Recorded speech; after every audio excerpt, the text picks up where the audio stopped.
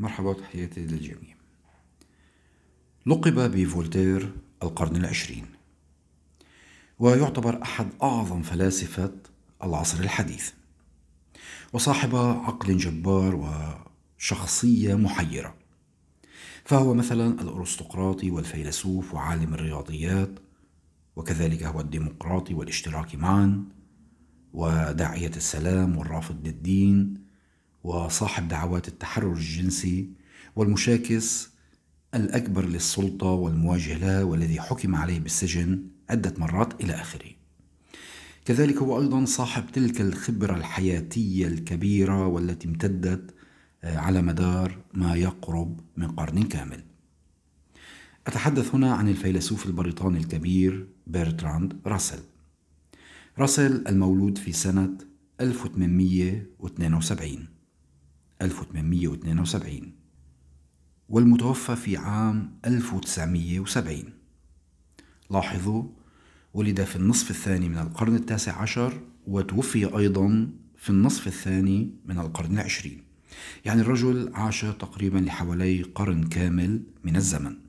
وطبعا شهد خلال هذه الفترة آه، كم هائل من الأحداث والمتغيرات وعلى كل المستويات. وفي واقع الأمر يعني لم يكن راسل شاهدا عاديا على العصر بل كان بالفعل من أبرز الفلاسفة والمفكرين حضورا وتفاعلا مع أحداث عصره وزمنه. كما كان راسل جريئا وواضحا في التعبير عن مواقفه الحادة أحيانا والصادمة في أحيان أخرى لكل ما كان يعتبر سائدا. وبمناسبة الحديث عن حياة آه، راسل المديدة هذه يعني لكم أن تتخيلوا كم المتغيرات والتطورات الهائلة آه، التي شهدتها هذه المئة سنة الممتدة من أواخر القرن التاسع عشر إلى أواخر القرن العشرين. ولربما لربما هي الفترة الأخصب في التاريخ البشري. سواء بمتغيراتها السلبية أو من خلال تطوراتها الإيجابية.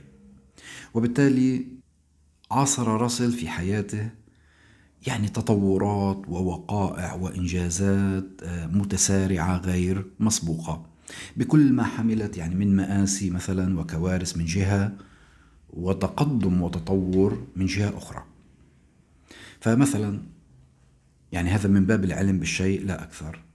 لأننا واقعا لو أردنا أن نعدد مثلا ما عاصره وما عايشه راسل من أحداث لربما احتجنا إلى أيام لا بل إلى شهور فمثلا يكفي أن نقول أن راسل كان شاهدا على اندثار إمبراطوريات كبرى وعلى نشوء أخرى وكان شاهدا على تغير كبير واستراتيجي وجذري ولعدة مرات في في الخارطة السياسية للعالم.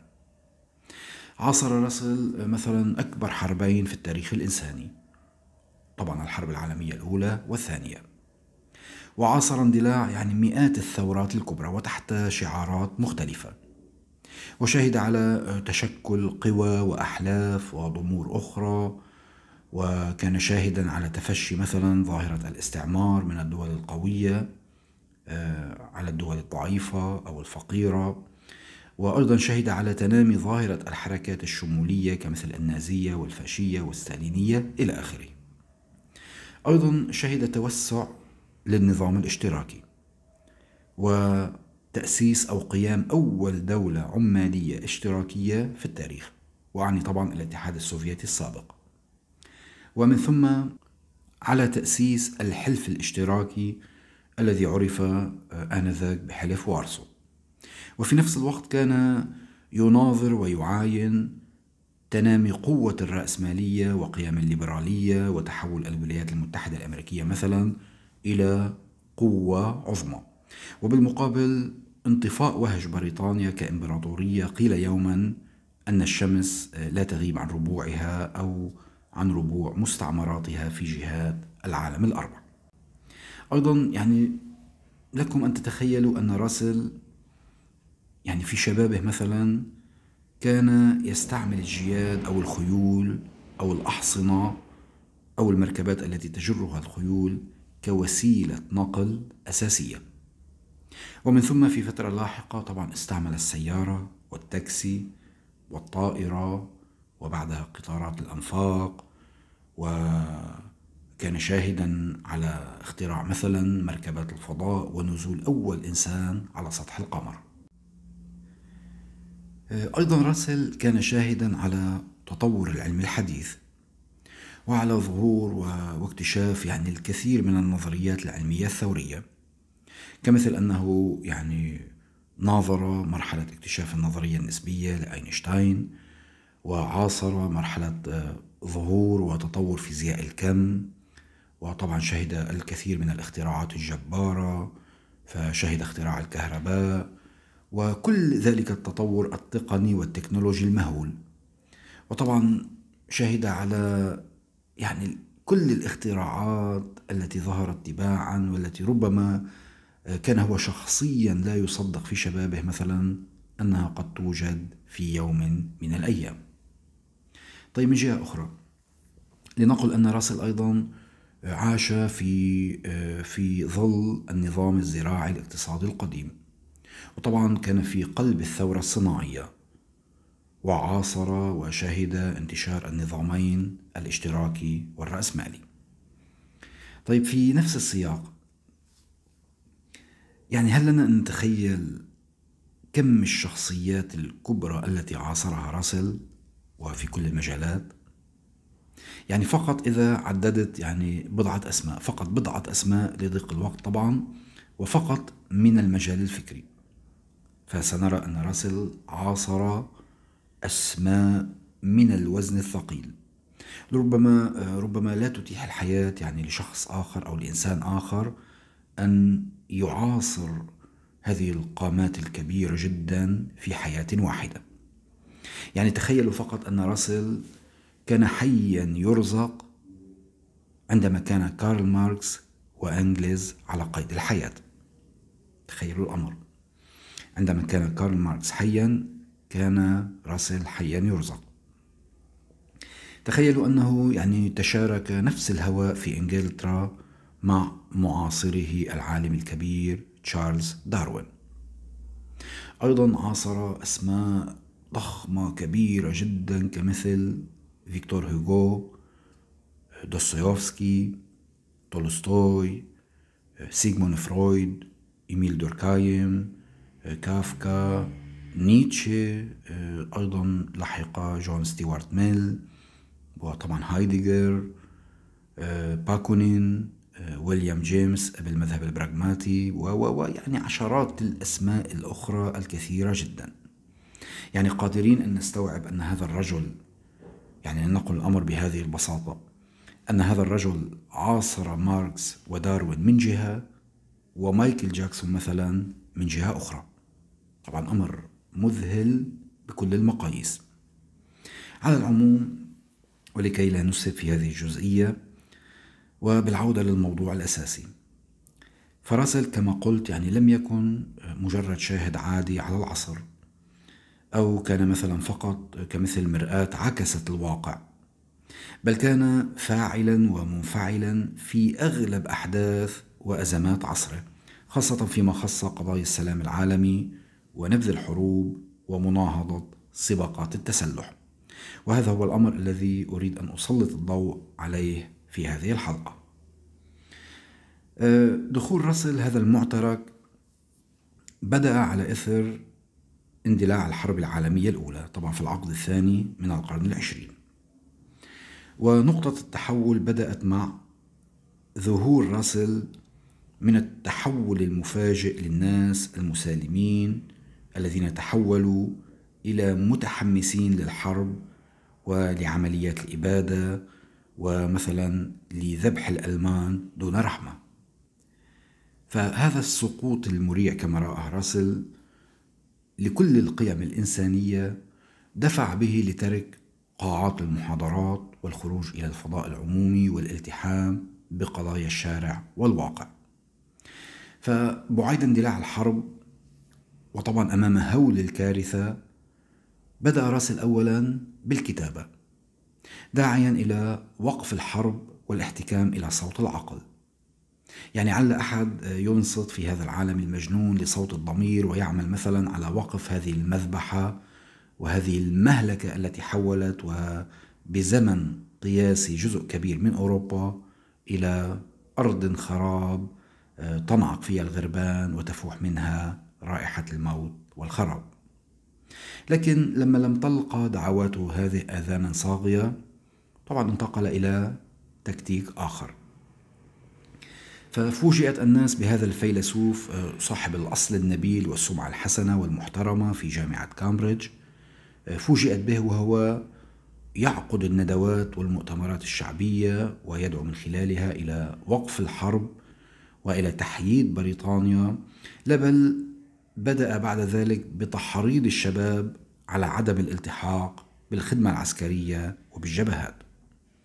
وطبعا على إثر آه، هذه الدعوات آه، قدم راسل للمحاكمة بتهمة تحقير آه، قرارات صاحبة الجلالة الملكة.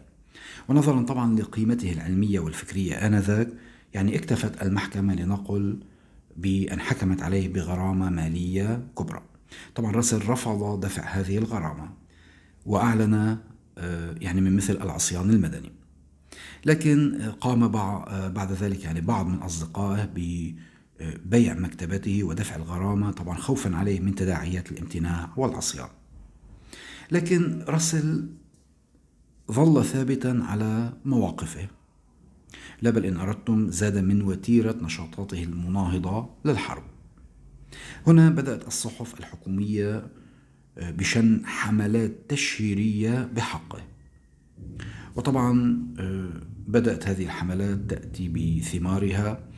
فكان أن طرد مثلا من الجامعة وجرد من كل ألقابه العلمية وحتى الملكية.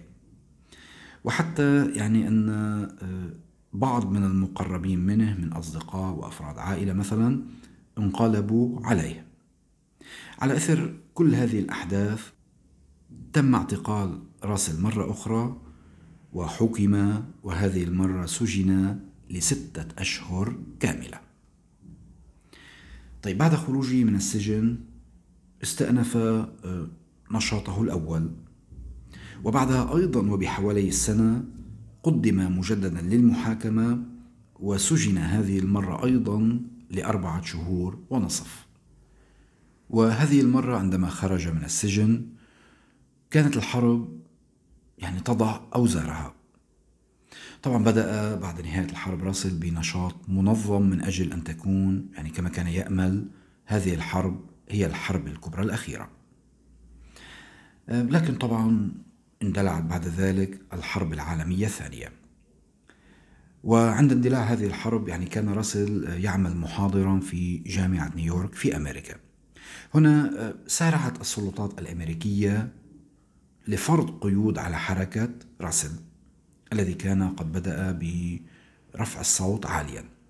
ومع ذلك لنقل ورغم هذه القيود يعني لم يعدم راسل وسيلة من شأنها مثلا التعبير عن رفضه القاطع للحرب وعن موقفه المبدئي منها.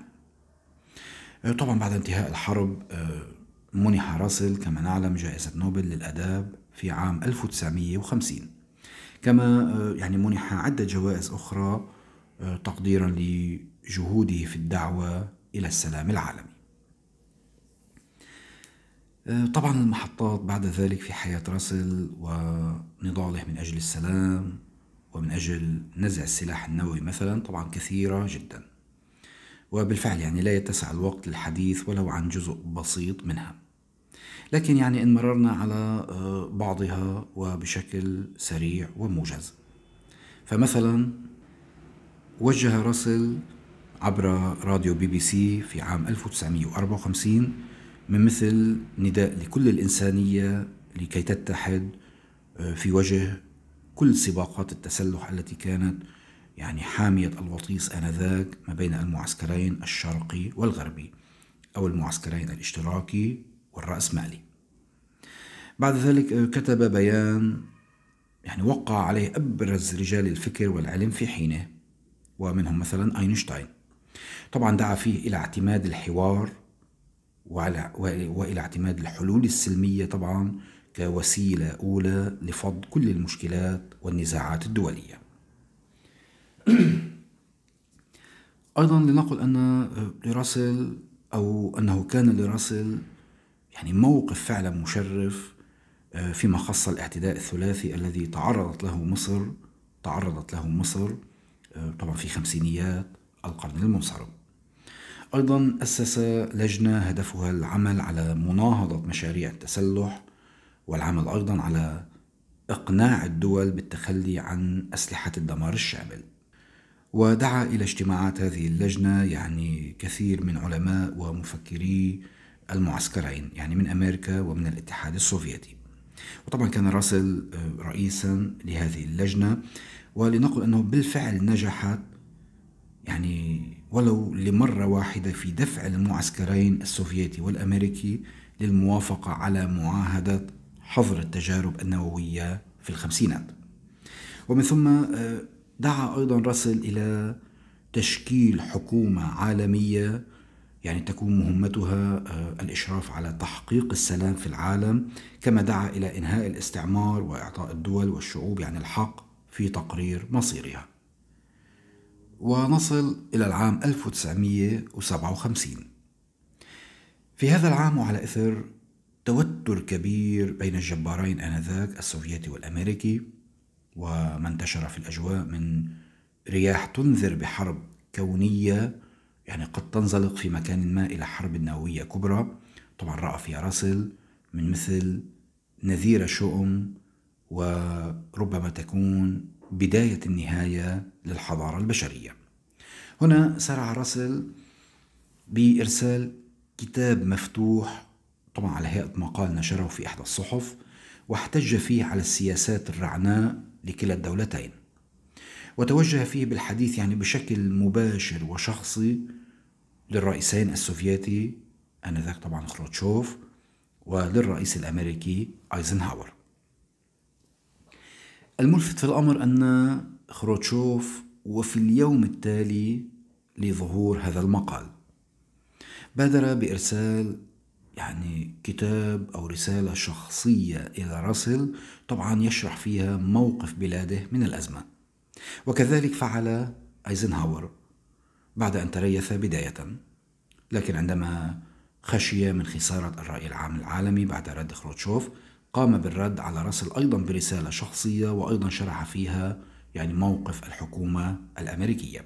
طبعا لعلها أول مرة في التاريخ آه، يعني لعلها أول مرة يجبر فيها مثلا موقف لفيلسوف أو مفكر آه، رئيسي أو رؤساء دول عظمى للوقوف على رأيه مثلا لا بل لتبرير مواقفهم إزائه. بعد ذلك وفي فترة لاحقة سيقيم راسل يعني ما يشبه المحاكمة العلنية للولايات المتحدة الأمريكية على إثر حرب فيتنام وجرائمها بحق الشعب الفيتنامي. وطبعا آه، هذه المحاكمة يعني أخذت ضجة كبرى في حينه. ولنقل أن راسل خلال كل هذه الفترة لم يتخلى عن سلاح التظاهر والاعتصام لا بل إن أردتم يعني كان مبدعا فيهما كما حاله في عالم الفكر. فمثلا ابتكر نوع جديد من التظاهر يقوم على شبك الناس أيديهم ببعض لتشكيل سلسلة طويلة يعني تستطيع أن تمتد بين عدة مدن في وقت واحد. وطبعا كان الهدف منها تشجيع الناس على النزول والمشاركة. أيضا ابتكر راسل أسلوب الاعتصام جلوسا في الطرقات. وبالمناسبة يعني ففي إحدى هذه المرات وكان آه، قد تجاوز التسعين من عمره وكان يجلس يعني معتصما في وسط الطريق للاعتراض على سباق التسلح. وكان من حوله تلامذة الجامعات. هنا هاجمت الشرطة الإنجليزية راسل ومن معه. لا بل داسته الخيول خيول الشرطة الإنجليزية. ومن ثم اعتقل وزج به في السجن مع طلبة طلبة الجامعات ولربما كان أكبر زميل لراسل في السجن يعني ربما كان في عمر أحفاده. آه، طيب أخيرا يعني من المهم القول أيضا أن راسل يعني لم يكن قديسا ولم يدعي هو حتى هذا الأمر. وفي الواقع فللرجل أخطاء كبرى لا بل خطايا إن أردتم وهفوات كثيرة في حياته الشخصية يعني لا تليق باسمه الكبير. طبعا له أيضا معايب كثيرة يمكن يعني أن نتحدث عنها للصبح كما يقال. لكن هذا في جانب. أما في موضوع السلام ومناهضة الحروب ونصرة الشعوب المستعمرة والضعيفة؟ لا. فللرجل مواقف مشرفة ودفع ثمن هذه المواقف من سمعته وماله وحريته وأمور كثيرة. فواقع راسل في هذه القضية بالتحديد يعني ملأ العالم صراخا وضجيجا. وقاد المظاهرات وتعرض للشتم والضرب والاعتقال وللسجن أكثر من مرة. وربما يعني أفضل ختام لهذه الحلقة يتمثل في كلمات راسل بالتحديد وبتحديد أكثر يعني فقرة أنهى بها راسل ذلك الكتاب الذي ضمنه سيرة حياته. آه، يقول فيها ومعها أختم